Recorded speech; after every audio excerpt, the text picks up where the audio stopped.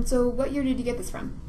What year? Yeah, like, around r- roughly. Who knows? it, it was. I mean, it was when I was here, and I was probably about 1952, 50, or 50, 54 maybe. I don't know when I got it. Now, when you say you got it from the building that burned down, was it in the building? bookstore. Oh, the bookstore. Okay. That's where the bookstore was in those days, Really? as well as the um, snack bar Okay. and like a, a campus center was in the middle, and then it was men's residence halls upstairs. Was it a popular place to hang out in Susquehanna? Well, it was the only place really, as far as I mean, the snack bar, and there were always people in there playing pinochle.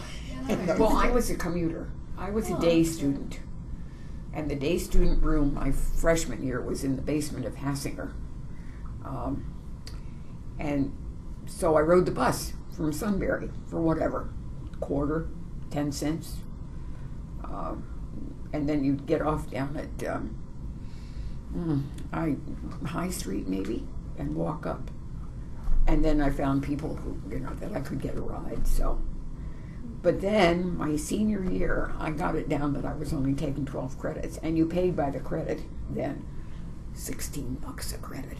Oh my gosh. I grew up in Sunbury, graduated from here, and left for fifty years. Where'd you go? And how much time do you have? I went to New Jersey, I went to Ohio, and then I had a job in Philadelphia, Allentown, back to New Jersey. Sounds nice. So Is we're- it- that's where you've that's where you've been. Yeah, And then back here? yeah. I have one sister. She lives in Northumberland. Um, and I was coming back here for all kinds of things anyhow. So when it was time to move, because my rent in New Jersey more than doubled, I decided it was time to come back. And they were building those houses up there. We have three alums, we had four alums, but one died. Three in, in um, Namibia.